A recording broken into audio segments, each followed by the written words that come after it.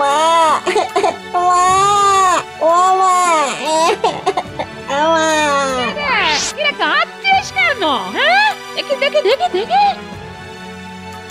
যা ভেবেছে তাই সরে তো গা পুড়ে যাচ্ছে রে। হ্যাঁ? আর রতন। রতন কি হয়েছে? ডাকছো কেন? বলে একবার পঞ্চায়েতে যা তো বাবা। সেখানে গিয়ে বল যে তোর বাবা বাড়ি নেই কাজে বাইরে গেছে। আর ভাইটার খুব জ্বর কিছু একটা ব্যবস্থা করতে। হ্যাঁ মা এক্ষুনি যাচ্ছি।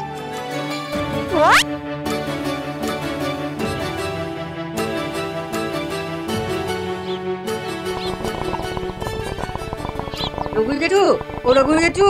কি রে বাবা কি হয়েছে? এত হাঁপাচ্ছিস কেন? জেঠু বাবা শহরে গেছে আর ছোট ভাইটার ঘুম জ্বর তাই মা বলল আপনাকে খবর দিতে। সে কি? তাই? এই এই চলো চলো চলো তোমরা সবাই চলো। আমাদের সুখিনের ছোট ছেলেটার জ্বর ও বাড়ি নেই তো কি? আমরা সবাই তো আছি। হ্যাঁ হ্যাঁ চলুন চলুন। চলো চলো। কানু যা দেখি। এ কবরেজ মশাইকে একটা তলব দে। বল যেন এখনই তিনি সুখেনদের বাড়িতে চলে আসেন। চলো চলো আমরা সবাই সুখেনের বাড়ি যাই চলো। হ্যাঁ চলো চলো চলো সবাই চলো।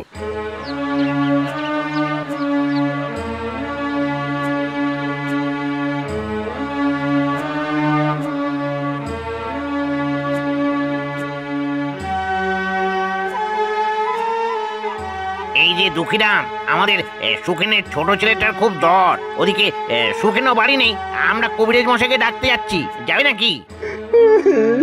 সুখেনের ছেলের শরীর খারাপ তাতে সবার দরদ একবারে উতলে উঠছে।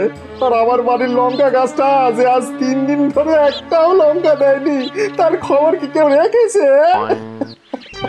আমার পুরা কপাল হায় রে হায় রে হায় কি কঠিন দুনিয়া দেখেছিস কি শয়তান? শুধু শয়তান নয় ব্যাটা হার কিপটে। দুঃখীরাম হচ্ছে এই সুখীপুরের কলঙ্ক।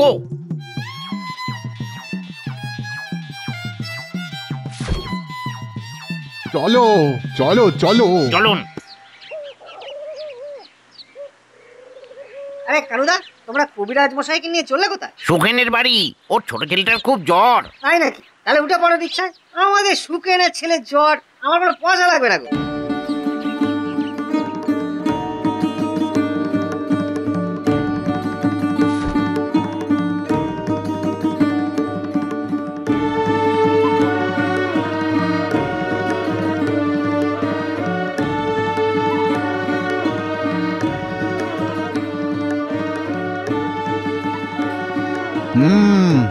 ঠান্ডা লেগে বুকে সর্দি বসেছে। চিন্তা নেই আমি ওষুধ দিচ্ছি। তিন দিন খেলে ঠিক হয়ে যাবে।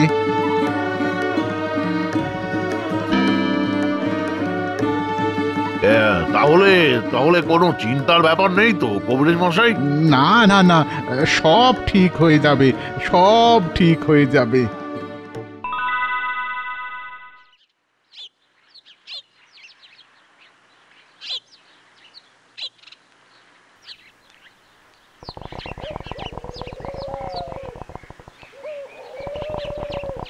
এর নাম মুরু মশাই এর নাম আরে সুখেন সুখেন এসো এসো আহ, তোমার ছেলেটা কেমন আছে এখন? একদম ঠিক। আগে সবই আপনাদের কৃপা। আপনারা না থাকলে যে কি বিপদ হতো? আহ, এসব কি বলছো সুখেন আহ, এটাই তো আমাদের সুখীপুরের ঐতিহ্য হে। আমরা সবাই সবার জন্য। হ্যাঁ। ঠিক কথা মুরু মশাই। হক কথা হক কথা। ঠিক কথা মোড়ল মশাই ঠিক কথা। হক কথা একেবারে। শুধু একজন ছাড়া। আহ, কার কথা বলছিস রে কানু? কেন? ওই যে দুঃখীরাম। বেটা গ্রামের নামটা একেবারে ডুবিয়ে ছাড়লো মোড়ল মশাই।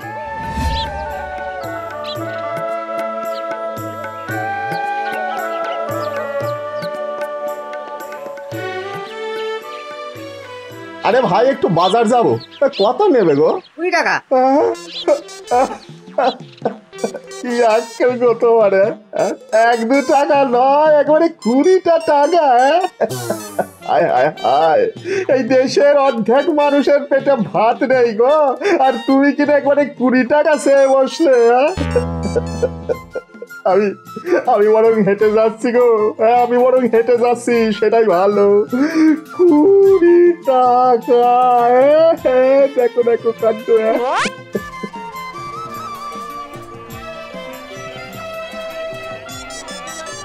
কি গো কষি তো? কত করে দিচ্ছ শুনি? চল্লিশ টাকা কেজি বাবু। হ্যাঁ কি বলছো গো হ্যাঁ?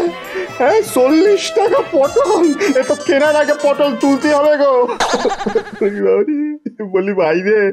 ও ভাই ভাই গো ওই পাঁচ টাকা দরে দেবে গো। তাহলে এক কেজি নিতাম ভাই। পাঁচ টাকা দরে দাও না ভাই। না বাবু পারব না। এখন বৌনির সময়। আপনি অন্য কোনো দোকান দেখুন। হায় হায় হায়। কি দিনকাল পড়ল গো কি দিনকাল পড়ল। পটল নাকি চল্লিশ টাকা হ্যাঁ? ভদ্রলোকেরা শুনলে মাথায় হাত দিয়ে বসি পড়বে গো রাস্তার মাঝখানে। পটল চল্লিশ টাকা হ্যাঁ। দেখেছিস? ব্যাটা রোজ এক নাটক। যা বলেছ দাদা হ্যাঁ। ওকে দেখে দিনটাও খারাপ কাটে। চলো তো চলো তো একবার মোড়ল মশাইকে গিয়ে ব্যাপারটা জানিয়ে আসি।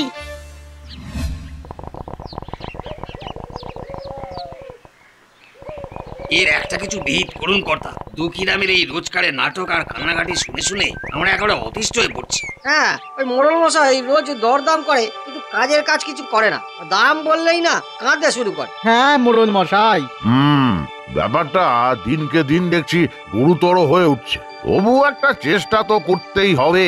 হাজার আর হোক আমাদেরই গাঁয়ের লোক। আচ্ছা শোন সকলে।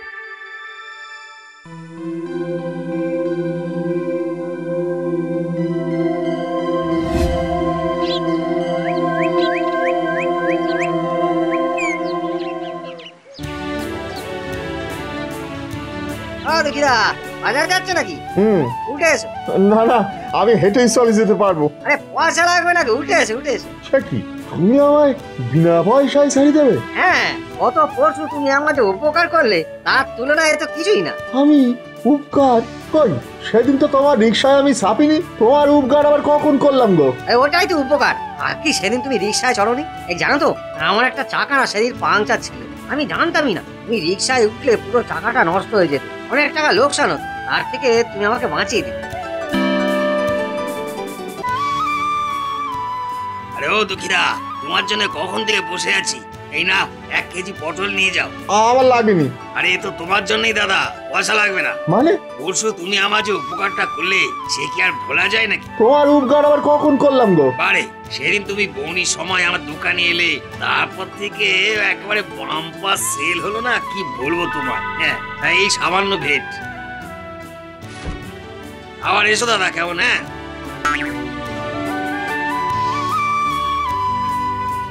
আজকে কি যে হচ্ছে তা তো কিছুই বুঝতে পারছি না।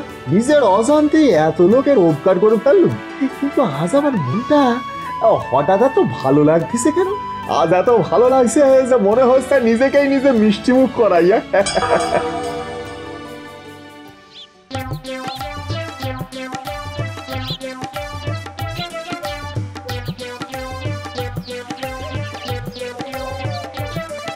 এমন সময় পঞ্চায়েত দেখি তো গিয়ে।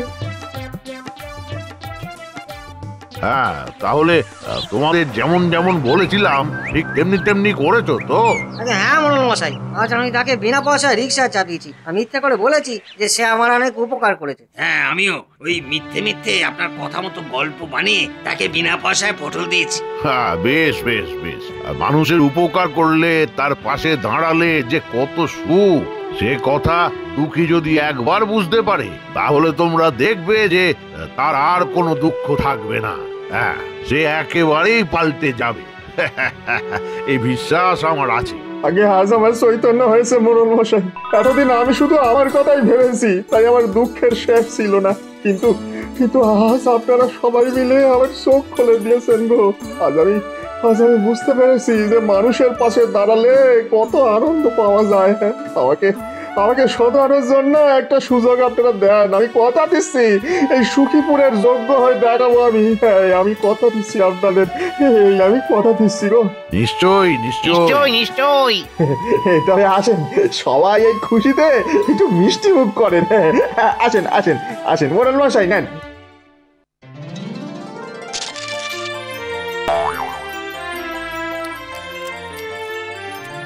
রঘু, নাও ভাই নাও।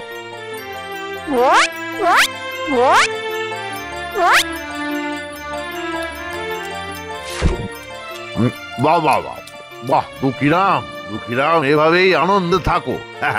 আজ থেকে তুমি হলে আমাদের সুখীপুরের মস্তিরাম